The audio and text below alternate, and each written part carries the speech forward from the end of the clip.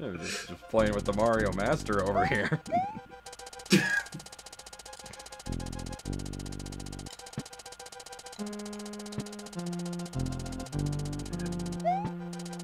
Oh man. I'm too exasperated to say any, anything else on on the matter. Yeah. This has been a trial. Whereas, That's understatement. whereas as much of a fun romp as Mario World is is at the beginning of the game, you get to these last two worlds and they are they are just taxing on your patience and very trying on your skills. Yeah, it just yeah, it definitely reminds me like why people think that uh, the new Super Mario Bros. series feels like it's too easy. Because I feel like the early levels are definitely just about as easy as Yeah. as they are, but I feel like the difficult levels that aren't you know like the bonus levels are definitely much um, Yeah. more difficult.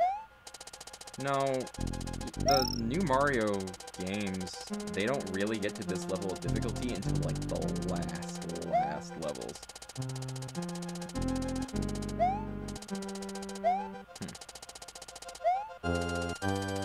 No, but even then, I, I don't think I ever had this much problems with uh, No, definitely new Super. Mario Bros. It's like, okay, New Super Mario Brothers 2, The 3DS one. the 3DS one, yeah. That game, that game, I had zero problem with it because it is just coins everywhere. That is the entire point.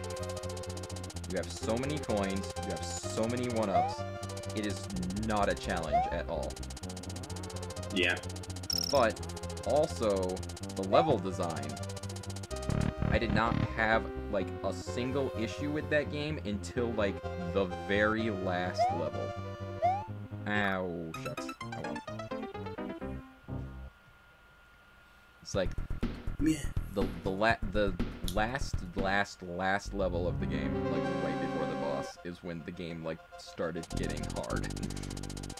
And at Yeah. that point, I had so many lives, I had nothing to worry about.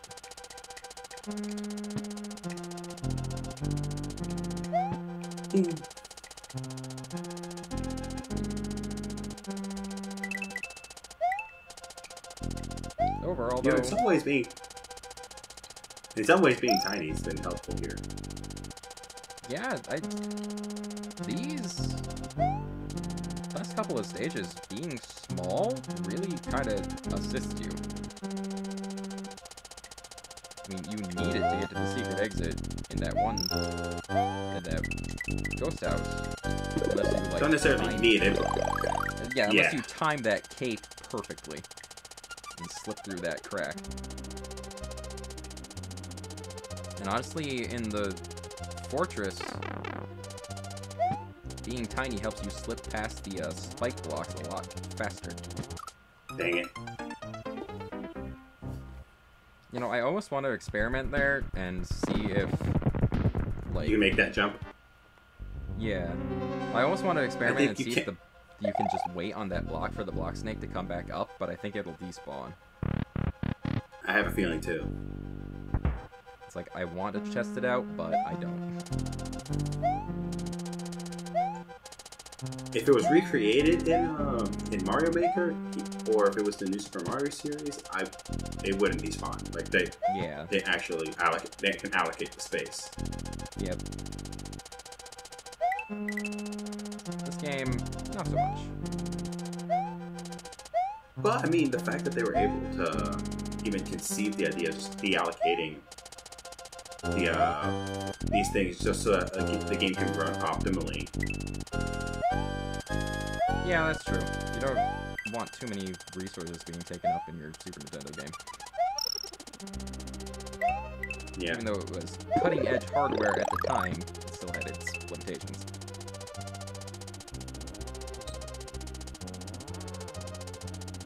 They say Genesis does when Nintendo don't, but the Super Nintendo. Yeah, with all that, with, with all Yeah. that blast processing, of course. Yeah. Super Nintendo actually gave the Genesis like quite the run for its money. Mhm. I think technically the Super Nintendo is like by far the superior system when compared to the Genesis.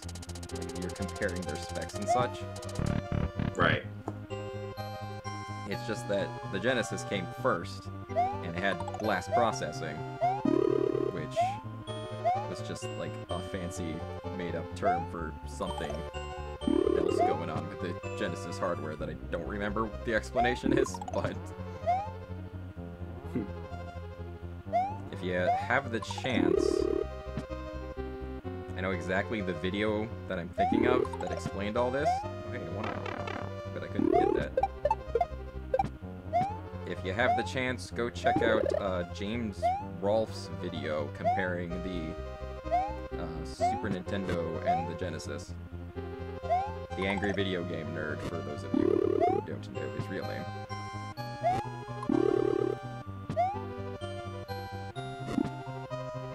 This Koopa, do you mind? Magic this Koopa, is on. dumb. Do you mind? I'm trying to get through. He He, he minded very much. He very much did mind. And he sniped me through the crack in the block.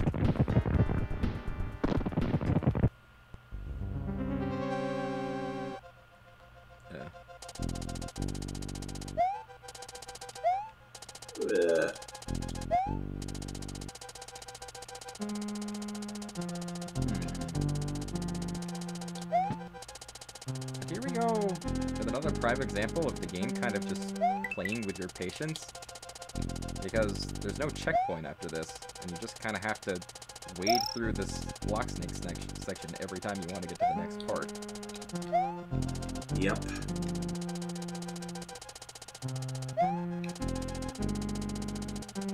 At this point of the game, they knew people would be used to blowing through levels, and they wanted to make sure people got their money's worth of the cartridge.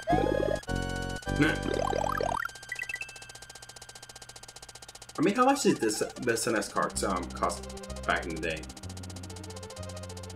That's a good question. I'd probably say somewhere around like a basic SNES game, probably forty dollars. And that's not adjusted for inflation. not not adjusted. Like just just thinking of like standard video game prices. I mean nowadays a game costing sixty dollars is nothing unusual. But it also has a lot to do with the better hardware and the technology it's made with. I, the, me zooming down that slope screwed me up so bad. Yeah. It's like um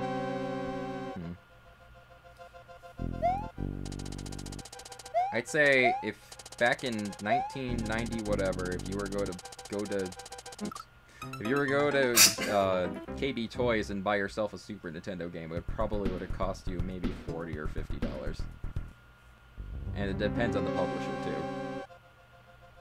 That's right. It actually mattered uh, then. because your first party Nintendo games are always going to be more expensive than third party ROMs. Right.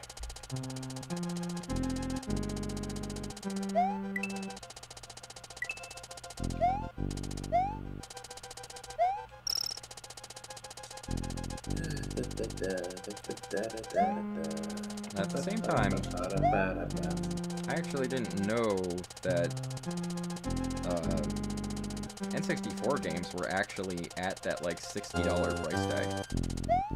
Just because the cartridge, like a lot of them, just because the cartridges were more expensive to make than the more common disc format used for other systems of that generation. Yeah, which is probably why um, they started going away from that. Pretty much. Also, probably part of the reason why PlayStation was going Yeah. so well. Which is hilarious considering that the PlayStation and Nintendo, like Sony and Nintendo, were uh, partnering on that at, first. Yeah, that was the origin of the PlayStation was the uh, partner uh, partnership between Nintendo and Sony to uh, create a CD add-on for the SNES. Also, out of those deals came the Philips CDI, because Nintendo was trying to do the same thing with Philips.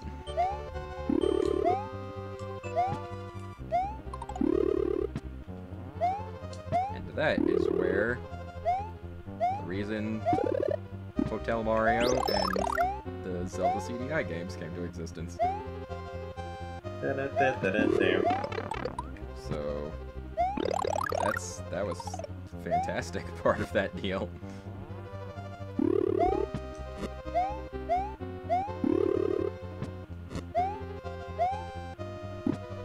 See, yeah, if this were you you can make it through. But this game's a lot um pickier with letting you slip through those one block gaps.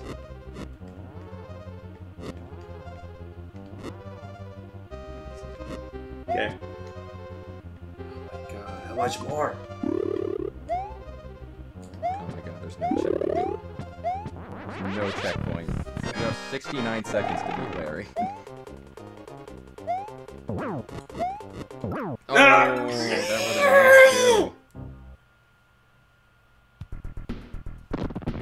They would not put a checkpoint in this. My goodness. Hmm. And the best part is that the fight that they do is the exact same as Iggy, just with fireballs. Yep. It's just the same battle. But with more fireballs. Yep.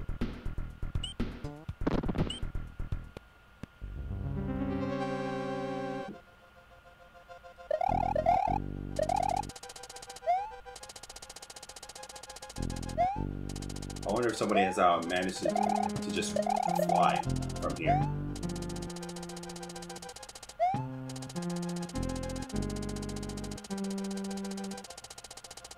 Uh-oh. Uh, we got disconnected.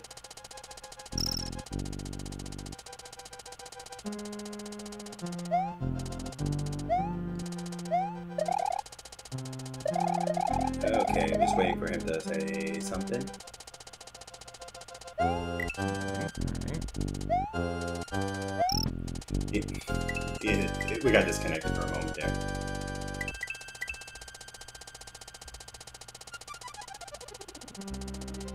Still there? Yeah, I'm here. Okay. It's a good thing we can cut away uh, for part of that. Yeah. Oh, I, I wanted to ask because uh, Steam or something was making a funny noise just now. Hmm. As if you were trying to call, as if you got disconnected or something. Uh, it, it looked like it hung up, so Oh, okay. Whatever. Alright, well, I made it here with one game feather.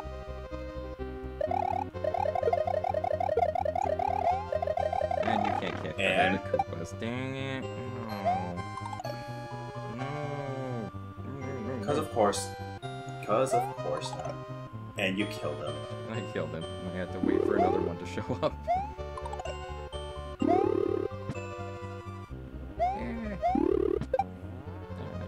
One too. Well, you can slip through the crack up there, the upper one. Oh, the upper one. Ah. That was a good idea on my part, but then I screwed it up. Well, I'm gonna try. I'm gonna try something stupid. Are you gonna try to fly?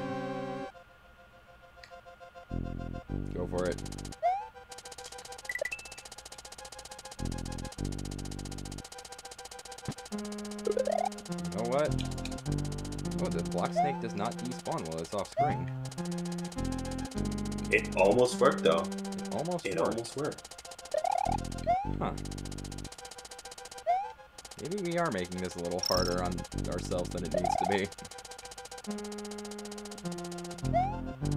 I don't know. But uh I'm gonna try that again.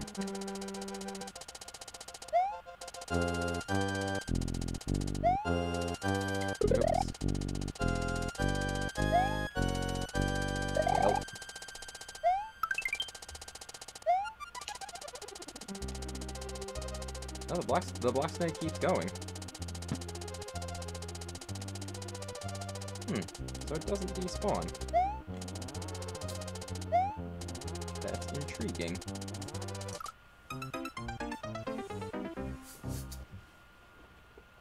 Well, it was worth a shot. Yeah.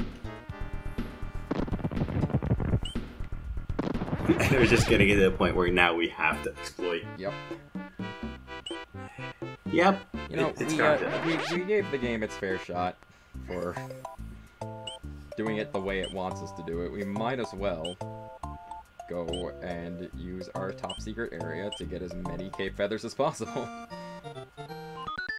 I think what you were doing is totally doable. A- absolutely. It's like there are obstacles in the way.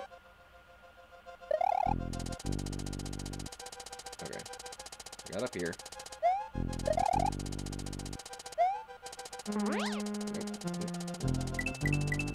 Nope. Okay, not quite.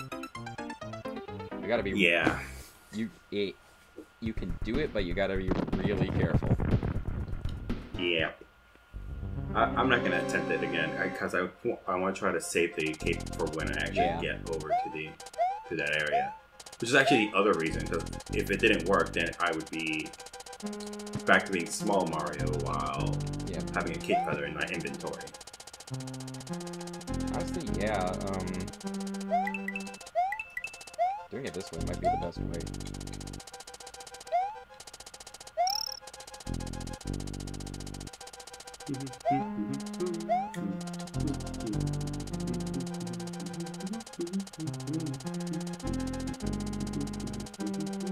So you can hang on to the cape feather there kind of let it chill out till the cat gets the walls of magic Koopas. Then, if you got the cape feather in storage, you can just break right through those walls. Yep. And you can also get rid of the dry bones because they're also a big problem. Yep. Oh no. Mm. Better grab it. Well, okay. I think you're, I think you're all right. This is about where you would probably deploy it anyway. I, I would have waited until I was actually at the Yeah, wall, you but but it's generally the same area.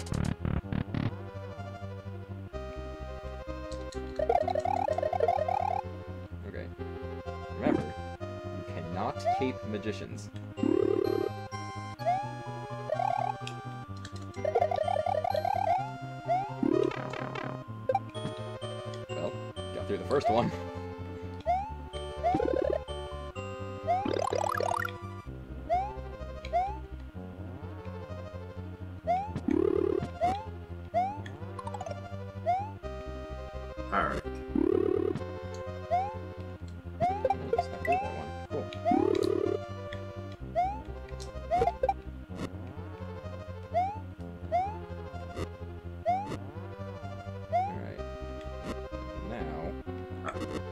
Was able to get through this.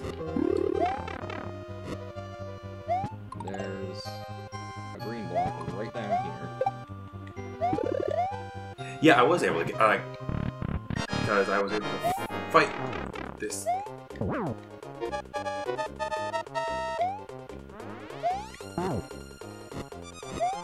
Hmm. Is it just me or is the Podoboo's moving?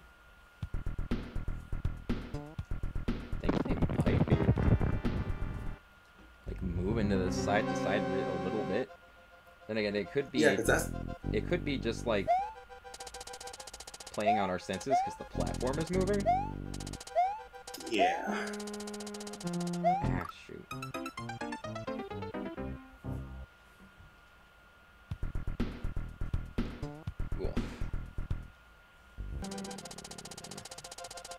I was half thinking like standing on top of one the chain walls and Yeah. Waiting, but I, I, I kind of want this push. eh.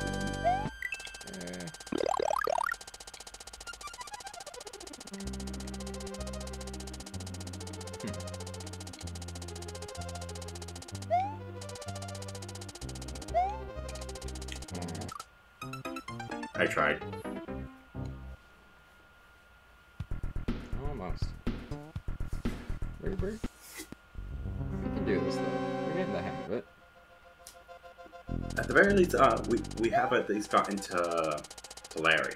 Yeah. This is this is the penultimate level of the game, basically. It expects you to get it it here. Well, I guess now you can just wait. Now I'll wait. Stay relatively close just in case uh, there is some sort of respawning. Yep, there it is.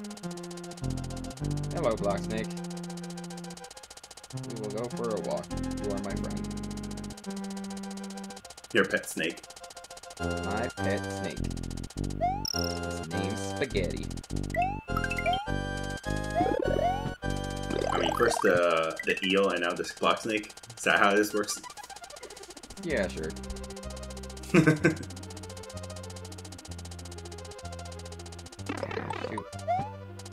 You did the same thing that I did. Yep. Little too close. I'm very surprised that didn't hit me. It brushed your hair. Gently brushed Luigi's hair.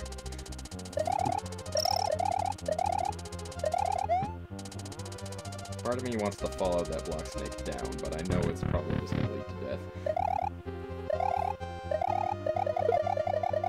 I mean, if the rewind feature was available, I would have said go for it. Do that online though. I, I thought the SNES one didn't have the uh, online, the uh, rewind feature yet. I think it does.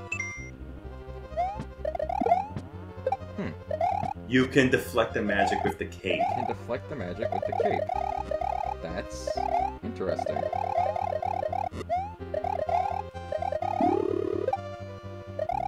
Never knew.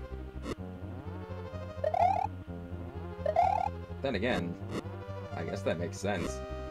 The cape in Smash Bros. is a reflecting move. Oh, shoot. I actually almost made it. Right at the tail end. Yep. Well, Alright, here we go. 100, se 100 seconds. Oh, bounced him back.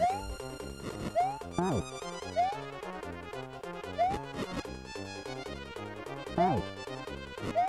on. Yeah! Alright. How fit? You you beat the, both the bosses that uh, were in that style. I, I beat both of them, yeah.